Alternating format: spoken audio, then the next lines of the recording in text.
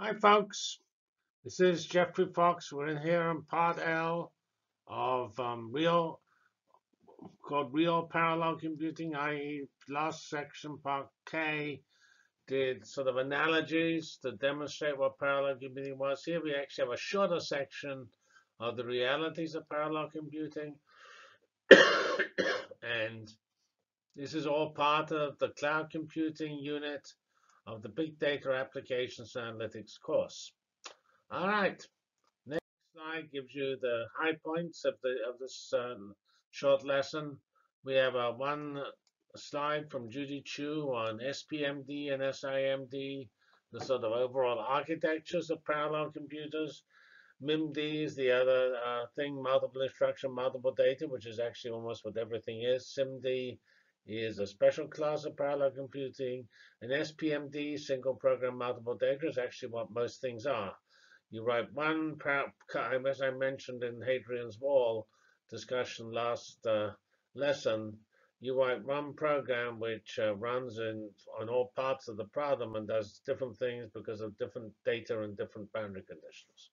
We then compare big data and simulations from a, a, a large from a largeness point of view, which is implicitly parallel. And then we discuss what codes are hard to parallelize. And we do that for both simulations and data. All right, this is really parallel computing in a nutshell. Thank you very much. And the final uh, slide from this uh, section, which is uh, slightly, really quite different, it illustrates uh, Single program multiple data and also uh, SIMD, single instruction multiple data. These are parallel computing technologies. All the parallel computing you will do, whether it's uh, will almost always be single program multiple data and almost never single instruction multiple data, although things like graphic engines internally to the inner core might do SIMD. And it's all a question of efficiency. Um, uh, SIMD was used initially because uh, if you just have one instruction engine and that instruction engine was sent to lots of different processing units, that was easier to implement than having MIMD, multiple instruction, multiple data, where uh, many each uh, each uh, process had its own instructions. But nowadays, almost always each each process has its own instructions because each process is running independently and it's sitting there doing its own thing on its own core. Um, but they tend to always be single program multiple data. When you do Hadoop, the maps are all running the same code. They're not producing the same answer because they're, um, that same code is using different data on each process. And that data will have will invoke if statements in the code, and the code will be in different points in different, at a given time. So that uh, these are just important concepts you should know about as you delve into uh, the future of uh, whatever we, we, we, I mean, big data programming on clouds. All right, that's it. That's the end of this uh, set of notes on, uh, on software. All right, so we look at the classic features of parallel computing. Uh, then we will find that uh, we have SPMD, we have maps, which are, um, in the case of simulations, uh, doing this, say they're doing climate weather simulations, there'll be mesh points divided up, and usually geometrically in three dimensions, and they will be sending little messages to each other to make certain the processors are doing the, com the computing in this part of the weather can talk to the processors doing computing in the neighboring parts of the weather.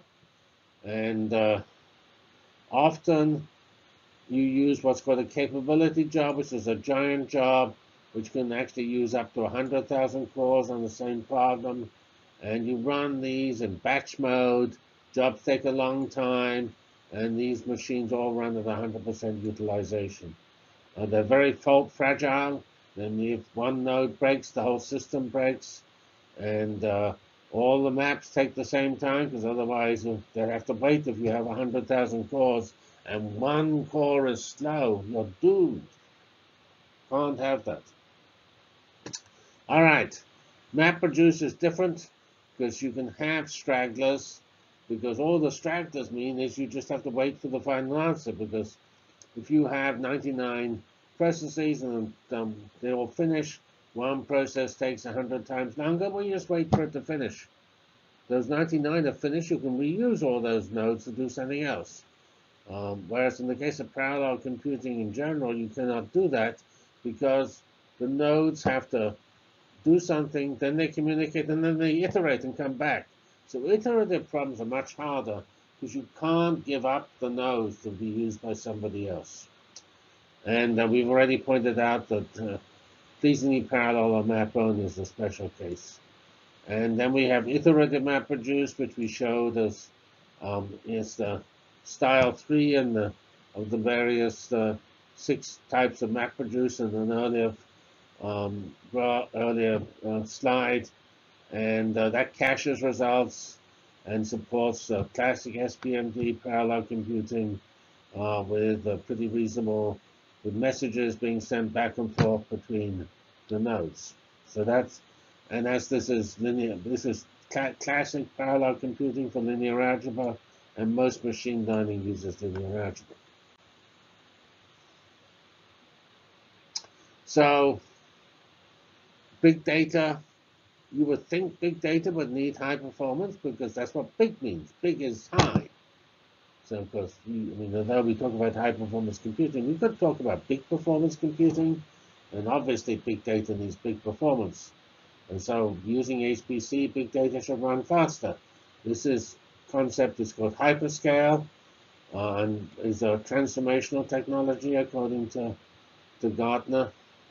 And um, but it's a little more subtle because maybe the big data processing rolls lots of input output, means a lot of distributed data. So quite how you accelerate that is not so clear. We have all these decently parallel jobs in the big data field, like processing data from CERN. This is the Large Hadron Collider, which is the big CERN accelerator. And these nifty HPC algorithms aren't used because you do what I call local machine learning. Every event taken by the LHC, and it does billions of them, are processed independently. Um, slightly more subtle case is MapReduce. In fact, the LHC processing is MapReduce at uh, when you classify it properly and do the full algorithm.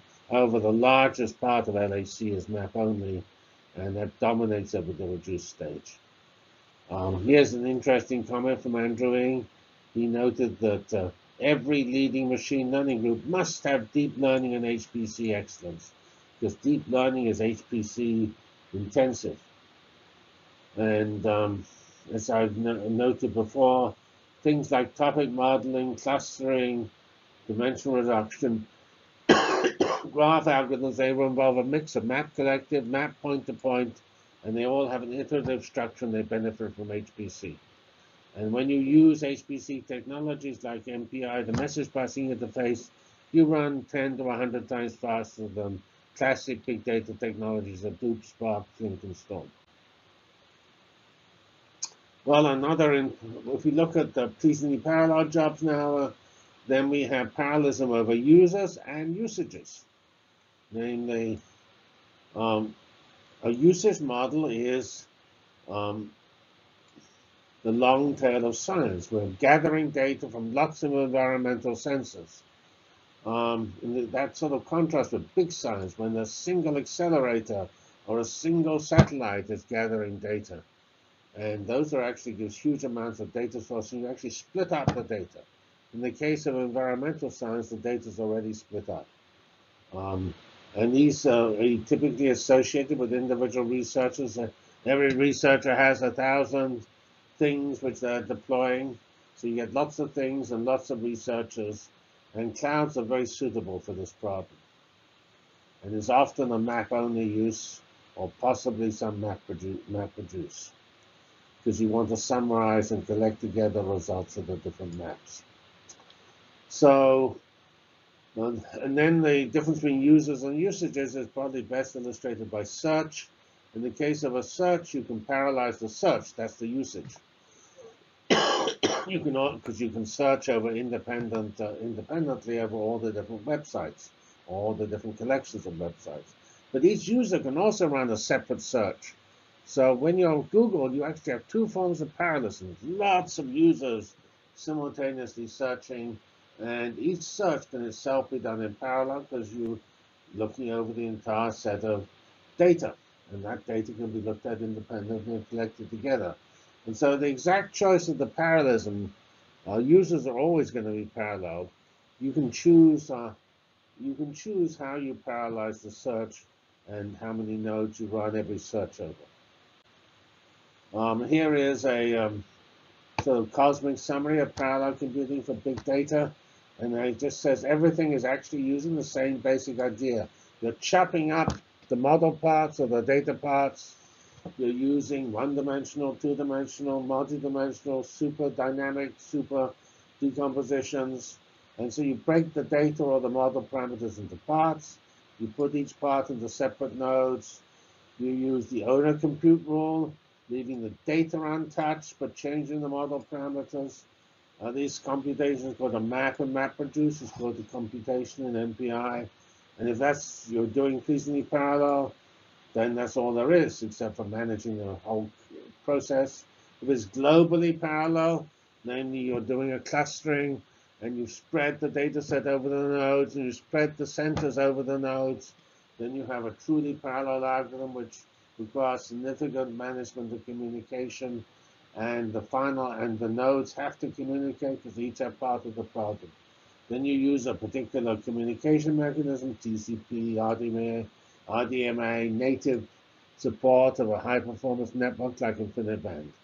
You're going to use different communication styles, point-to-point, -point, collective, or publish-subscribe. Um, I described the issues of load balancing for the galaxy problem. Sometimes the best way to chop up the problem varies with time, with the data. And in the case of the galaxy simulation, the particles are moving around. And so the best decomposition change with time. Um, so you can have a fixed task with data fixed or data flowing between tasks. You can have an automatic parallelism like Hadoop, or you can have very customized parallelism where the user designs a sophisticated algorithm. Uh, we have different various algorithms. It can be decently parallel, which is simple, or complicatedly parallel. We have to worry about fault tolerance and how the data's output is also needs to be discussed. Um, but these are all roughly the same in all problems and all approaches. And what appears to be big differences are usually either mistakes or more often they're just a different type of problem. If somebody is doing a pleasingly parallel or a MapReduce problem, they can do things in a very different way from somebody who has to do a large-scale weather simulation. Okay, so this uh, is a slightly complicated slide, but it's trying to point out some similarities and differences between applications uh, which cover both simulations and big data problems. And a key feature which really determines how hard it is to implement and actually the software needed is sort of what I call here complexity of synchronization, which is sort of related to the parallelization because parallelism is linking different parts together, so it's synchronizing different components. And the problems that are hardest are the ones where it's pretty hard to make that synchronization efficient. So we have across here the top, the, the ones where there's little synchronization, so-called loosely coupled. In the middle, we have synchronization, but it's relatively regular, so we can do it pretty efficiently and, and straightforwardly. And on the right, we have complex coupling, which I have certainly put a lot of effort into and many people have. And each of these categories has entries from both simulations and big data. Over here we have, and by the way, this axis here is less um, precise, but it's in, roughly in the order of increasing data. So it sort of has simulations at the bottom and um, totally data data management problems such as on commodity clouds with poor network connection and and uh, running Hadoop and things like that, that's up here. That's the MapReduce. And these are often so-called pleasingly parallel jobs where the where the different components can run without any communication. It has so-called parameter sweep simulations where you uh, have a whole bunch of jobs and they're separated by having different parameters. In the case of uh, machine learning, that's called um, hyperparameter searching. Um, here we have in the middle what you might call the heart of HPC clouds, where you have uh, this regularity, which you say would have in TensorFlow with traditional deep learning. Those are reasonably regular, rather clear how to get GPUs and vectorizing um, systems to run efficiently. And here we have the so-called global machine learning, where the machine learning is a single job running over many nodes. And we have all conventional deep learning. Uh, we have the regular simulations where there's some sort of set of particles or mesh points which are linked in a relatively uh, straightforward, uh, non-adaptive fashion. Then over here on the uh, right, we have the, some very hard um, Big data problems, latent Dirichlet allocation, that's a topic finding problem. Graph analytics, such as finding the number of graphs of a particular template. That's how they find fraud and terrorists and things like that. Then in simulation space, we have so-called unstructured adaptive mesh problems, where you have um, a, lot, a lot of mesh points or a lot of particles where those are dynamically changing throughout the simulation we have uh, um, we have also, as well as the unstructured case, the structured case, and all of those are. This is somewhat, if it's structured, it's somewhat easier, but they all um, hard, and often there's a lot of user involvement in the parallelization, because the user can understand this complexity, but they try to capture that complexity and the, of the parallels in the way that the compiler could do it automatically is quite hard. But in any case, there's not so much difference between big data and simulations. There are easy problems, hard problems, and sort of pretty reasonable problems, which are maybe the heart of the, of, the, of what you have to do with the ones that are really hard, not necessarily being the dominant workload. Okay, thank you.